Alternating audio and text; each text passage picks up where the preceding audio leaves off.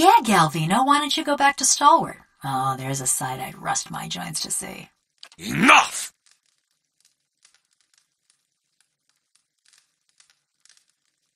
I shall speak no more of that damned village.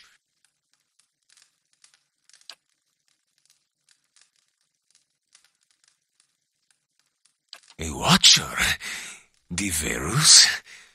If this is true, then you could find a sole descendant from Durgan's battery, no question. But the greater difficulty remains. You would have to learn the Cantic from the dormant soul. And to do that, you would have to awaken it. Oh, yes. Whoever you awaken will live with the memories and the personality of a past life. Maybe peacefully, maybe not. That is why you must pay attention to the soul you would awaken, no? It is a uh, monumental thing to impose on another, but these are the very people who wish to rediscover the White Forge, Verus. An awakening is merely the jolting of a dormant soul into consciousness. When such things happen normally, it is because something has reminded the subject of a past life, often violently so. Thus, to awaken one of the former dwarves of Durgan's battery, you will need to address that soul, and preferably by name. But show some care. When you examine these souls, whatever it is you watchers do, you may see images, memories. These are moments of special import. What you see will tell you much about the person, and uh, perhaps the condition in which they awaken. Awaken them from a traumatic memory, and who knows? Maybe they awaken thirsty for blood. Or maybe you awaken someone else. Here, this has been tuned to the Eon of Durgan's battery. Use it near the villagers, and it should tell you if one has a soul old enough to have come from the battery.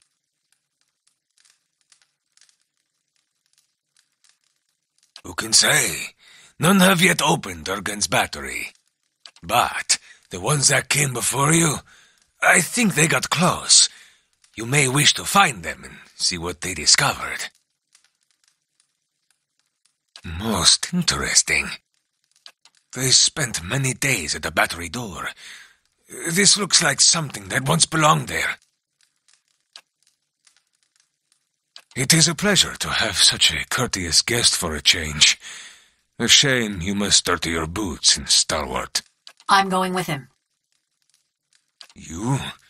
Go to Stalwart? Is this your macabre sense of humor, or uh, has something gone to rust in that beautiful head I crafted? No one will bother me while I'm with him. Besides, I can help him find people in Stalwart. You... you haven't been to Stalwart in thirteen years. And this Watcher sees souls. What help could you be? Besides, I have need of you here. You owe whatever remains of your wicked life to me.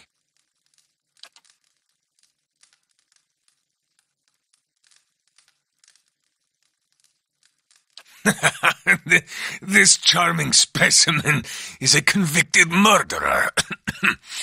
the Devil of Caroc, she's called. Mighty fine of you to start with my good qualities, and you wonder why we don't get more visitors. Killed over a dozen people before they finally caught up to her in Stalwart. Perfect company for lonely camps and mountain passes, no? Hey, I know how to start a campfire. The only reason she's not a frozen corpse is because I convinced the old mayor to let me try an experiment. Into a work of art! Look at this! Craftsmanship worthy of a jeweler! Fully articulated joints, capable of grasping a pen and writing her own name.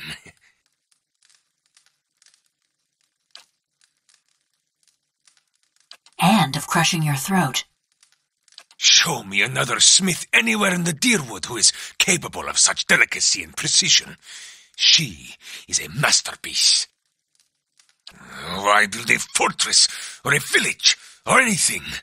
To make something that keeps, that... Uh, it was the early days of the legacy. My peers in the colleges of Animancy were filling the Hollowborn with the souls of animals. I thought there was a better way. One with a Plum Academy job back in Salona? Don't forget that part. She committed her first crime in the village of Caroc. Burned a family alive in their home. Did the same thing in half a dozen other villages, but the name stuck. Ah, here we go. They were going to stone her anyway. Why not allow her to be put to some useful purpose? My life's ambition to serve somebody's useful purpose. I approached Mayor Sinahiod and begged. He saw the potential and allowed me the privilege of attempting my little experiment. Then I accomplished what few animancers have even dreamed of. No academic support, no patron, just me in the middle of nowhere. Oh, now you got 'em all wound up. I transferred a fully intact soul from a living subject to a fabricated body. She retained her personalities, her memories, all of it. Yet the villagers saw only a stolen corpse. She may be mad, but she's no fool. She wouldn't survive long on her own.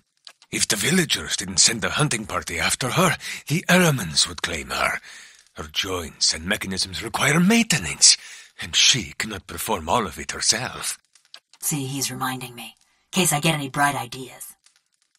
She's a fine specimen, her personality notwithstanding.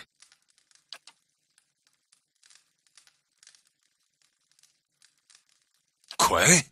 No, no, no, you don't know what you ask. This woman, the Devil of Caroc, she was a notorious murderer, burned people alive all over the region. Besides, she works for me. After all, I am the one who preserved her.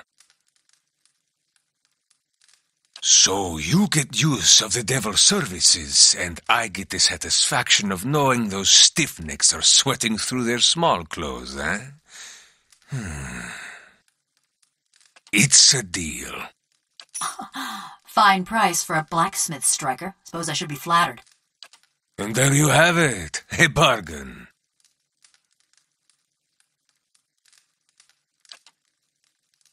A moment. You are going back to Stalwart, yes? Perhaps you could do me a favor.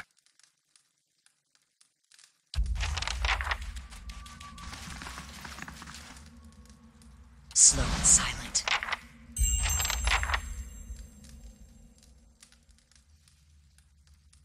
Yes. As you wish.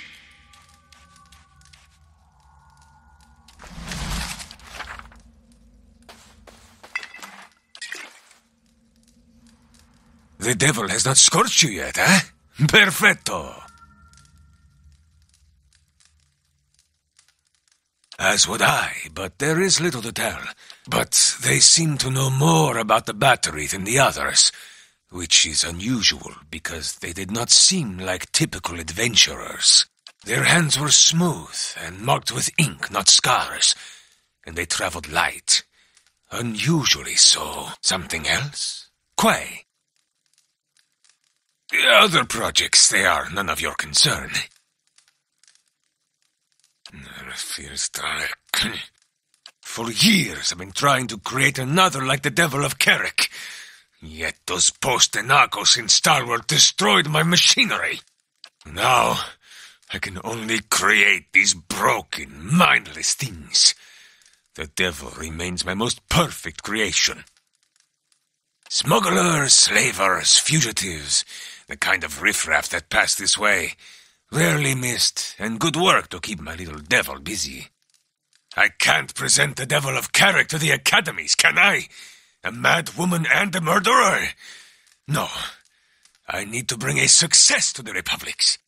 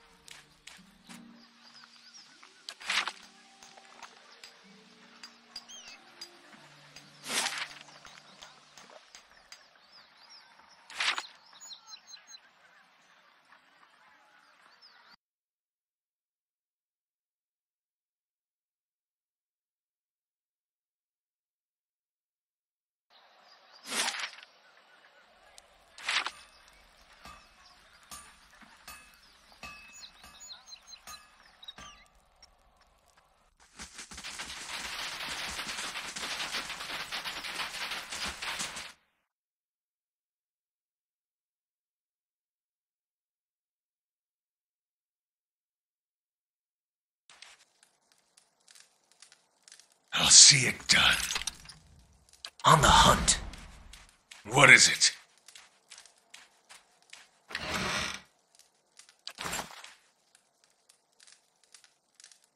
Hey.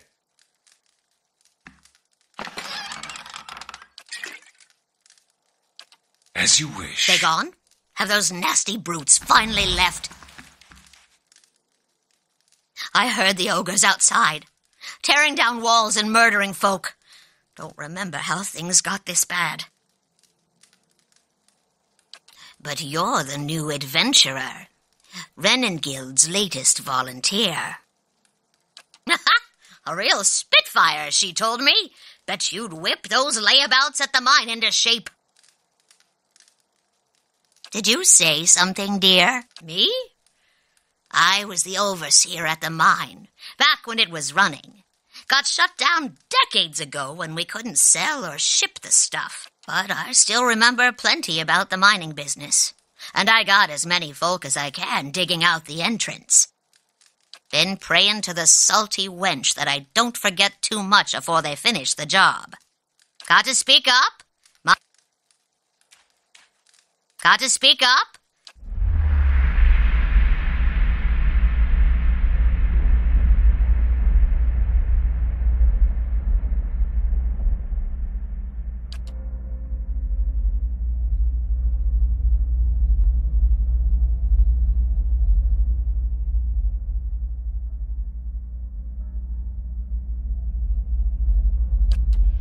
Sinove, please. If we go now, we can get behind the barricade. We we won't do any good here.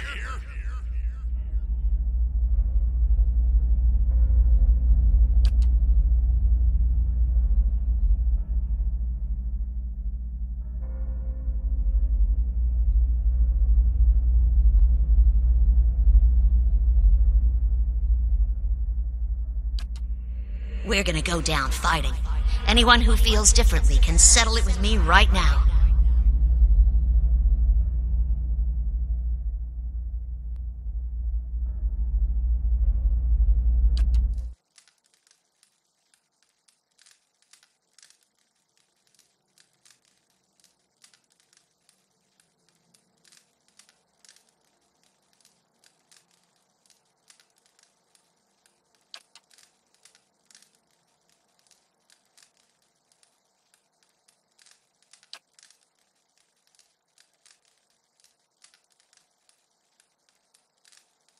That name. It carries memories of death, war, fury, the taste of blood. What do you want with it?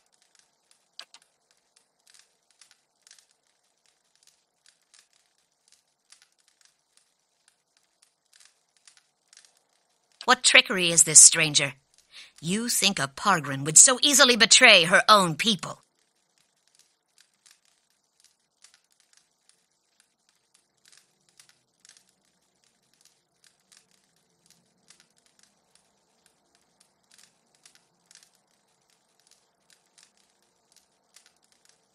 You speak like one who knows me.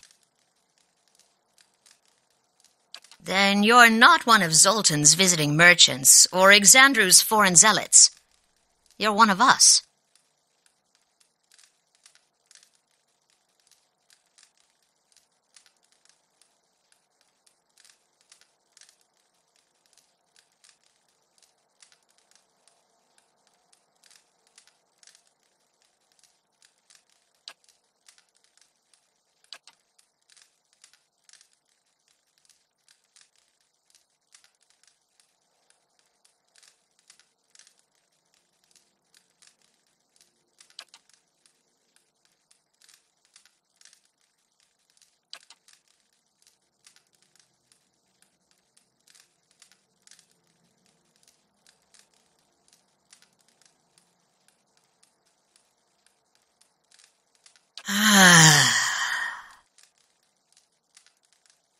Did I nod off?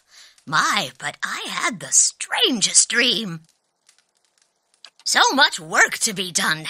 Pardon me, but I'd better check on those miners. At the rate they're going, it'll be another year before they clear that blazing shaft.